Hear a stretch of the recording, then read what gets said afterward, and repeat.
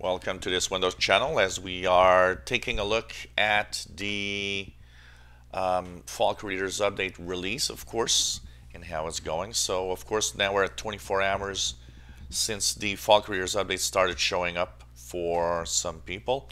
It's very interesting. A lot of people mentioning that they didn't have Creators Update appear immediately and some took weeks before they got it uh, and they find it interesting to see that they actually have it in Windows Update appear immediately on this one.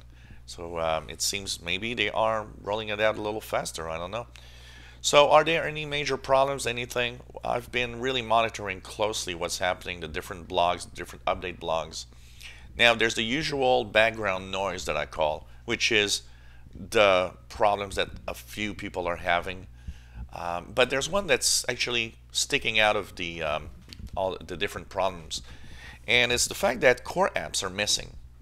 So this one is probably the most popular post I've seen. It's that you update to Fall Creators Update, and you know the Mail app, um, you know the different core apps like News, uh, things like that are not available. Even the store is not there. So a lot of people are saying, hey, um, I don't have the core apps. I don't even have the store. I can't even go to the store. What what gives? And it would seem it seems like an incomplete upgrade for some reason, as if the update didn't actually complete fully for some reason. Um, I am looking into what exactly can be done. I was thinking of well, maybe we could use um, you know because some people were saying well, if I try to uh, because some have part part of the apps. Like some have the store, but not news and mail and calendar, for example. And if they go there, it says, well, no, they're installed, but they're not there to be seen anywhere. So I'll be uh, checking that out today a little more. Uh, if I can find an easy fix without having to do, um, you know, a complete rollback and everything, I'll, I'll, I'll try to post it. I'll try to keep updated everyone on this situation.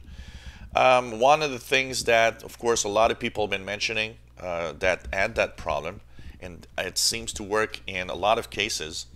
Uh, some that didn't have the apps went to their settings, went to the update and security, clicked the recovery, and in the recovery, uh, you have go back to the previous version of Windows 10 right here and says get started. It says if this version isn't working for you, try rolling back to an earlier one. It rolls you back to, of course, the Creators Update.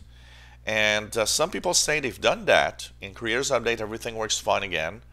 And I would say that um, maybe 70%, 75% of people that actually used that and came back to the Fall Creators Update seem to mention that after trying it again, it actually works and all the apps are there. So you might want to try that, though I know this is going to be a time-consuming operation uh, the time to roll back plus the time to reinstall.